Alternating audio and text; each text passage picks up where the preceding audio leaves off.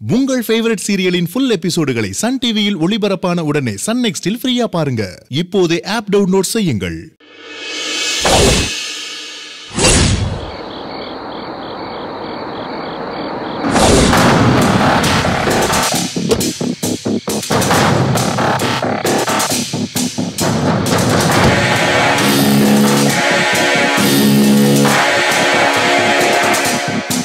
வாங்க சார் நீங்களுமா இந்த நேரத்துக்கு வந்திருக்கீங்க?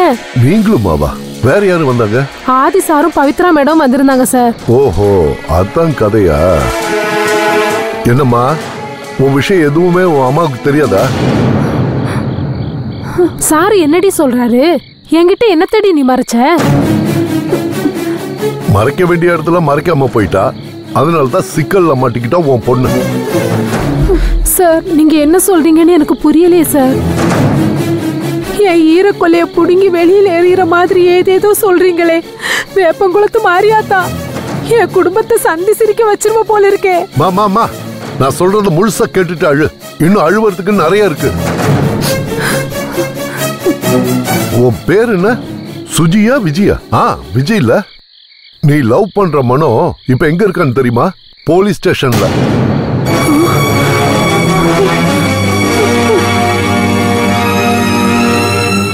என்னடி சொல்றாரு சாரு? லவ் பண்ணியா? ஐயோ ஐயோ. உன்னை எவ்வளவு நம்பின? செங்கல் எல்லாம் சுமந்து படிக்க வச்சனேடி இந்த கன்றாவி எல்லாம் தேவையாடி. நம்ம இருக்கிற இருப்புக்கு நம்ம உடுத்துற துணி மானத்தை மறைக்க தாண்டி ஆண்டவ கொடுத்துருக்கான். வேற எதுக்குமே இந்த மனசு ஆசைப்படக்கூடாதுன்னு வாய கட்டி வயித்த கட்டி இதுக்கு தானா படிக்க வச்சேன் அம்மா இல்லம்மா. என்ன இல்லம்மா நொல்லம்மா? வயிறு எரியுதுடி. படிக்கிற படிக்கிறேன்னு இதைத்தான் பண்ணிட்டு இருந்தியா நீ? இனிமே உன்கிட்ட என்ன கேள்வி? அதான் ஐயாவே சொல்றாங்களே? நான் யாருக்கிட்ட சொல்லி அழுவுறது? ஐயோ. அங்க போய் கத்து. சும்மா காதுல நோய் நோய் கொஞ்சம் என்ன பேச விடுமா? புகார் கொடுக்க போறியா?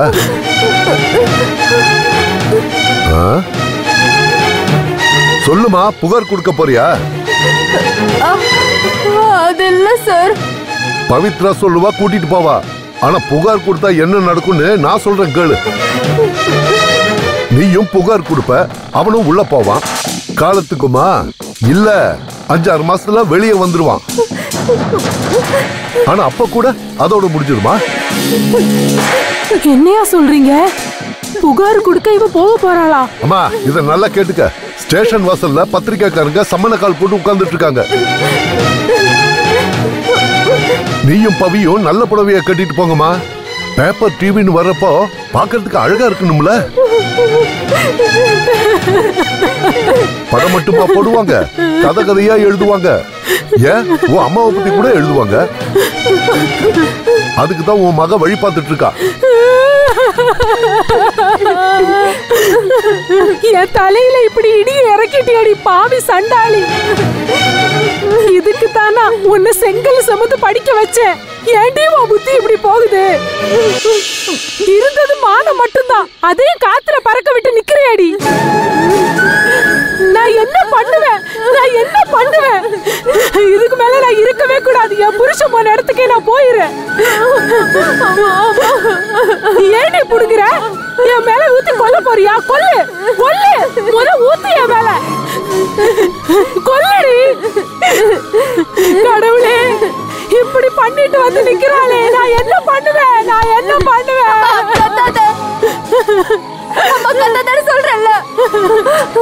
ஆமா சார் நீங்க சொல்றதுலாம் உண்மைதான். நான் அவனை லவ் பண்ணேன். அவன் என்ன போட்டோ எடுத்து வச்சு மிரட்டினான். சரியான பொறுக்கி போய் சார் அவன். இன்னும் எத்தனை பேருடைய வாழ்க்கையை சீரழிக்க போறான்னு தெரியல. அவனுக்கு தண்டனை வாங்கி கொடுக்கணும் சார் கொடுப்பேன். தாராளமா கொடு.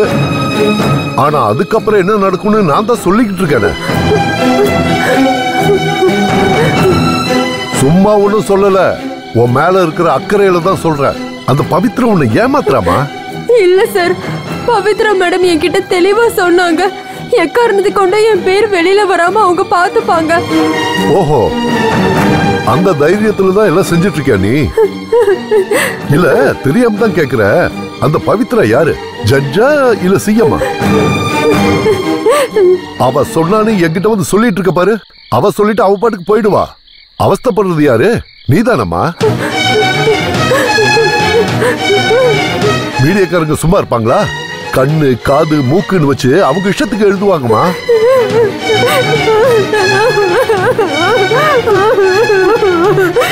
ம், எப்படியும் போட்டோ போட்டு நார் அடிச்சிருவாங்க.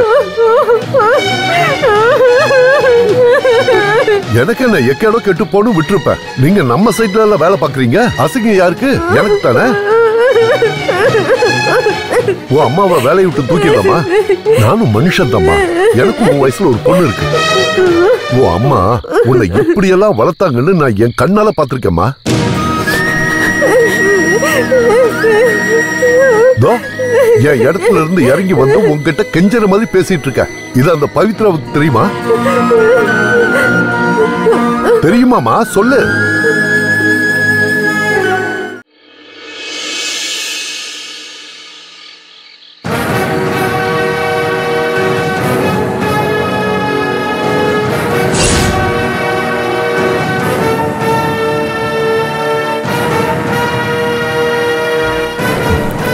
Thanks sir. வா தங்கம். வா. வரோண்ணே. ரொம்ப நன்றி சார். சதிகளை எல்லாம் முறியடிச்சு வெளியே வந்துட்டான் என் பையன். ம்.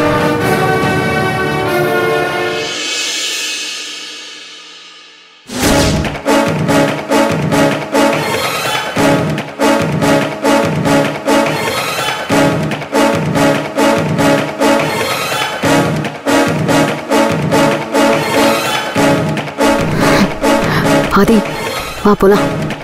வா. நான் வீட்டுக்கு போலாம் வாங்க.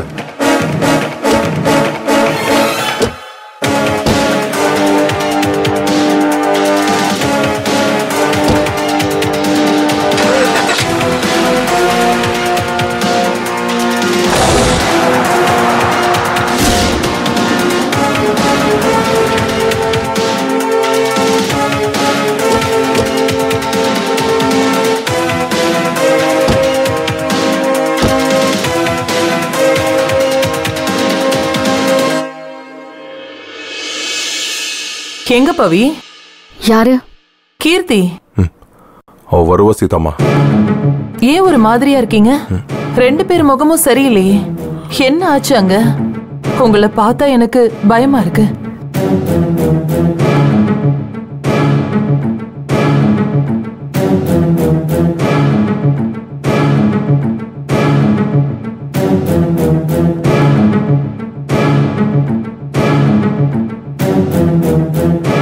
என்ன பவி?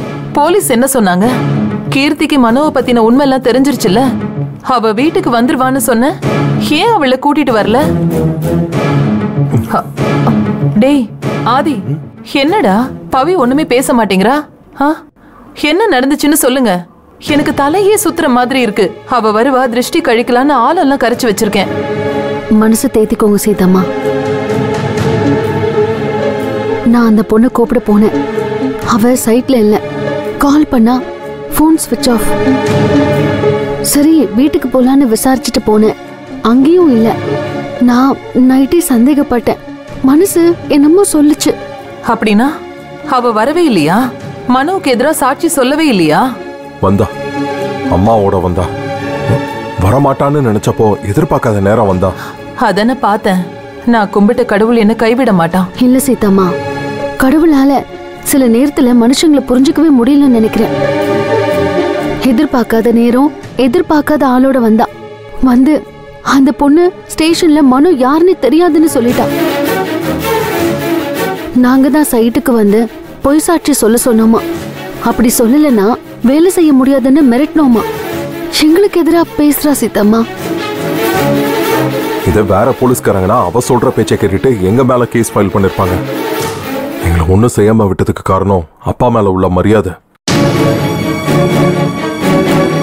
இன்னொன்னு அந்த பொண்ணு பொய் சொல்லுதுன்னு அவங்களுக்கும் தெரிஞ்சிருக்கு. ஆனா ஒரு பொண்ணு இப்படி சொல்றப்ப அவங்க என்ன செய்ய முடியும் சீதாமா? என்னால நம்பவே முடியல. என்னாச்சு அந்த பொண்ணுக்கு? அந்த பொண்ணுக்காக தானே நீங்க ரெண்டு பேரும் இவ்ளோ கஷ்டப்பட்டீங்க. ஏன் அப்படி நடந்துக்கிறா? அவ அப்படி நடந்துக்கல சீதாமா. நடந்துக்க வச்சிருக்காங்க. வாசுகியும் பூபதியும் தானே? எனக்கு தெரியும். அவங்க தானே ஆட்டோல கூட்டிட்டு வந்தாங்க? இல்ல சீதாமா. எல்லாத்துக்கும் பின்னாடி ராஜசேகர் அங்கிள் தான் இருக்காரு. என்னால நம்பவே முடியல. நம்ம ராஜசேகர் அண்ணனா பண்ணாரு? நாங்க ஏன் சும்மா சொல்லணும்? அவர் ஸ்டேஷன் வந்திருந்தாரு சீதாமா. வந்து அங்க நின்னதை பார்க்கணுமே. நம்ம பக்கம் நிக்காம அந்த ராஸ்கல் பக்கம் போய் நிக்கிறாரு. எனக்கு வந்த கோவத்துக்கு தே வேற யாராவது இருந்திருந்தா சட்டைய பிடிச்சு நாலு அரை சப்பு சப்புன்னு அரைஞ்சிருப்பேன். அவர் அப்பாவோட ஃப்ரெண்டா போயிட்டாரு. அம்மாவுக்காகவும் அவர் செஞ்ச உதவிக்காகவும் சும்மா நின்ன ஜடம் மாதிரி நின்ன அவருக்கு இப்ப என்னன்னா அவர் நினைச்சது நடக்கணும் அவரோட பொண்ணு நல்லா இருக்கணும் அவ்வளவுதான். அவளை உண்மையை சொல்ல விடாம தடுத்தது ராஜசேகர் சார் தான். அதுதான் அதுதான் என்னால ஜீரணிக்கவே முடியல. அப்ப மனோ? என்ன உத்தமர் மனோவை விட்டுட்டாங்க. நாங்க உள்ள இருக்க வேண்டியவங்க. ஜஸ்ட் மிஸ் வருவாங்க எல்லாரும். வெற்றி கொண்டாட்டத்தெல்லாம் முடிச்சிட்டு மெதுவா வருவாங்க. வேற எங்க போவாங்க? அவரு எத்தனை நாள் தான் அவங்கள அங்க வச்சிருக்க முடியும்? ஐயோ என்னையோட கீர்த்திக்கு பிடிச்ச கெடுதல் எல்லாம் விலகி போயிடும்னு சொல்லிட்டு போனியே பவி. இப்படி ஆயிப்போச்சே. நான் என்ன பண்ணுவேன்? அண்ணன் கேட்டா நான் என்ன பதில் சொல்லுவேன்? எதுக்குதான் அவருக்கு தெரியக்கூடாதுன்னு நான் பயந்துட்டு இருந்தேன். தெரியல சீதாமா. அப்பா கிட்ட என்ன சொல்றதுனே தெரியல. சொல்ல எனக்கு தைரியமும் இல்ல. இல்ல ஆதி நிச்சயமா சொல்லணும். ஏற்கனவே விஷயத்த மறைச்சதுக்கு மாமா எவ்வளவு கோவப்பட்டாருன்னு உனக்கே தெரியும்ல? பக்குவமா சொல்லிதான் ஆகணும். எல்லா பிரச்சனையும் எதிர்கொண்டுதான் ஆகணும். இதுக்கெல்லாம் காரணம் சங்கவியும் அவளோட அப்பாவும் தானே? துரோகிங்க. நம்ம வீட்டு பொண்ணு நாசமா போன பரவாயில்ல அவங்க பொண்ண நான் கல்யாணம் பண்ணிக்கணுமா அப்படி ஒரு மானகிட்ட கல்யாணம் எனக்கு அவசியமே இல்லை.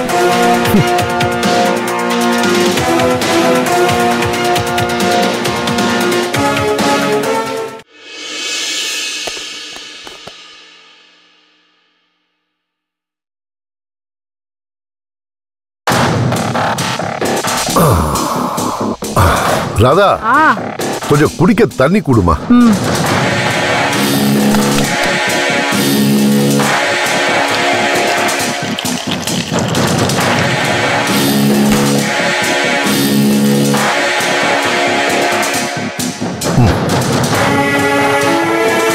எங்க போயிட்டு வரீங்க?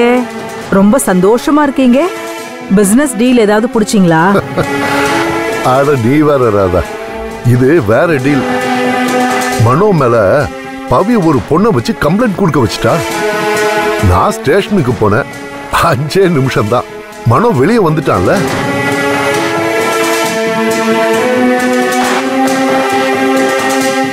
என்ன நீ வெளியில வந்துட்டான்னு சொல்ற? ஒண்ணுமே சொல்ல மாட்டேங்கிற? வெளியில விட்டாங்களா? இல்ல கொண்டு வந்துட்டீங்களா? ரெண்டுக்கும் என்ன வித்தியாசம்? ரெண்டும் ஒண்ணு தானே உங்க கணக்குல எல்லாமே சரிதான். ஆனா ரெண்டும் ரெண்டும் ஒன்னாக முடியாதுங்க. நீங்க முதல்ல தெரியாம உண்மைய சொல்லிட்டீங்க. அவனை வெளியில கொண்டு வந்தது நீங்க. அப்படிதானே? ஆமா. இது ஏன் வக்கீல் மாதிரி கேக்குற? மனோவோட அம்மா அப்பா எல்லாருமே பாவம் தானே?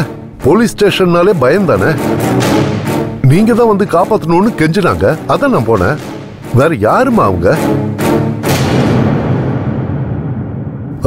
அப்புறம் கீர்த்தியும் வந்து நிக்கிறா?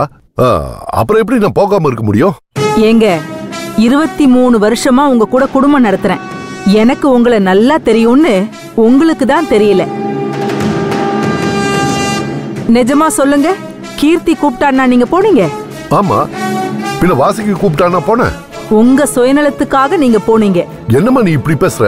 அதெல்லாம் ஒண்ணும் அப்படியெல்லாம் இல்ல. இங்க பாருங்க நமக்கும் ஒரு பொண்ணு இருக்குங்க. கல்யாணம் பண்றப்பவே அந்த வீட்ல ஒரு பொம்பளை புள்ள இருந்தா நிம்மதின்னு அந்த காலத்துல பார்த்து பார்த்து பொண்ணு கொடுத்தாங்க. ஏன் தெரியுமா? பொம்பளை புள்ள வளர்ற வீட்ல நம்ம பொண்ணுக்கும் நியாயம் தர்மம் அன்பு இதெல்லாம் காட்டுவாங்கன்னு தான். முதல்ல மனோ மாதிரி ஆளுங்க வெளியில இருக்கிறது. எத்தனை பொண்ணுங்களுக்கு ஆபத்து? இது தெரியல உங்களுக்கு? எல்லாமே நல்லா தெரிஞ்சும் கூட இவ்ளோ பெரிய தப்ப செய்ய துணிஞ்சிட்டீங்களே. சங்கவி மாதிரி தானங்க கீர்த்தியும் நமக்கு? அவளை கடைசியில பாதாளத்துல தள்ளி விடுறதுக்கு துணிஞ்சிட்டீங்களேங்க. வயசு பசங்க இந்த காலத்துல அப்படி இப்படிதான் இருப்பாங்க. அதெல்லாம் ஒண்ணும் ஆகாது. கீர்த்தி நல்லா தான் இருப்பா? நீயா சும்மா கற்பனை பண்ணிட்டு இருக்காத. கீர்த்தி அவனை வழிக்கு கொண்டு வந்துருவா. அவ விவரமான பொண்ணு. நம்ம சங்கவியும் அப்ப விவரமான பொண்ணு தானே? ஆமா அவளுக்கு என்ன? என்னோட புத்திசாலித்தனம் உன்னோட அழகு அப்படியே இருக்குல்ல? ஓ மனோ மாதிரியான ஒரு ஆளை அவ விரும்பினா நீங்க உடனே கட்டி வச்சிருவீங்களா? அப்பவும் இதே ஜால்ஜாப்பு சொல்லுவீங்களா? இல்ல என் பொண்ணு ரொம்ப விவரமானவ அவனை சரி பண்ணிடுவான்னு நீங்க அவனுக்கு கட்டி கொடுத்துருவீங்களா? என்ன நீ? எம்எல்ஏ குத்தம் சொல்லிட்டு இருக்க நான் என்ன பெருசா தப்பு பண்ணிட்டேன் இந்த பாரு ராதா. கண்டதையும் பேசி என்ன குற்ற உணர்ச்சியில தள்ளாத. அத நீ வேணும்னே செய்யறியோன்னு எனக்கு தோண வச்சிடாத. உங்க இடத்துல தாமோதர அண்ணன் இருந்தா உங்க பொண்ணுக்கு இப்படி பண்ண துணிஞ்சிருப்பாரா? சத்தியமா மாட்டாருங்க. இத பாரு ராதா. உன்கிட்ட சொல்றதுக்கு என்ன? நான் ஒன்னும் உலகத்தை காப்பாத்துற கடவுள் இல்லை. மனுஷன் தான் எனக்கு என் பொண்ணு என் குடும்பம் தான் ஃபர்ஸ்ட் அடுத்தவன் தோத்துருவானோன்னு நாம ஜெயிக்காம இருக்க முடியுமா? நாம ஜெயிக்கணும்னா ஒரு கூட்டம் தோக்கத்தான் செய்யும். ஜெயிக்கிறவன் ஜெயிக்க ஆசைப்படுறவன் சுயநலமா சிந்திச்சு தான் ஆகணும். வேற வழி இல்லை. அது எனக்காக இல்ல. என் பொண்ணு ஜெயிக்கணும்னு நான் எடுக்கிற கொஞ்சோண்டு முயற்சி அவ்வளவுதான். அப்படிதான் நான் இத பாக்குறேன் எப்படி எப்படி? ஒரு பொண்ணோட வாழ்க்கைய பாழாக்குறது உங்களுக்கு சிம்பிளா சின்னதா கொஞ்சோண்டு ஒரு முயற்சியா? புரியாம பேசாத ராதா. நான் சந்தோஷமா வந்தேன். நீ என்ன டென்ஷன் ஆக்காத. சப்போஸ் நான் இதுல தலையில்லன்னு வச்சுக்க என்ன நடந்திருக்கும் மனம் உள்ள போயிருப்பான். அதனால கீர்த்தி அவனை மறந்துடுவாளா? மாட்டான் இந்த பாழா போன காதல் பண்ணி தொலைக்கிறவங்க மருந்து தொலையவும் மாட்டாங்க. அப்ப அது வரைக்கும் நம்ம பொண்ணு கல்யாணம் பண்ணாம வீட்லயே இருப்பாளா? அவளுக்கு வயசாயிட்டு போகுதுல்ல? ஏங்க சங்கவி கல்யாணத்தை பத்தி பேசணும்னா தாமோதர அண்ணன் கிட்ட நேரடியா போய் பேசுங்க. ஏன் இப்படி அண்டர் கவர் வேலை பண்றீங்க? நானா மாட்டேங்கிறேன் ஆதிதான் அதுக்கு சரி வர மாட்டேங்கிறா. இத பாரு ராதா. தாமோதரம் உயிரோட இருக்கிற வரைக்கும் தான் நாம சொல்றது அங்க நடக்கும். அதுக்குள்ள சங்கவே அந்த வீட்டுக்கு போய் ஆகணும். எது பண்ணாலும் சரியான நேரத்துல பண்ணணும். எது சரி எது தப்புன்னு மத்தவங்க வேணா யோசிக்கலாம்.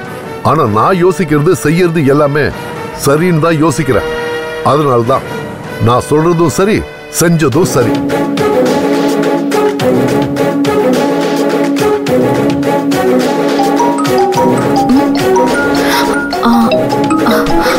ஆதி.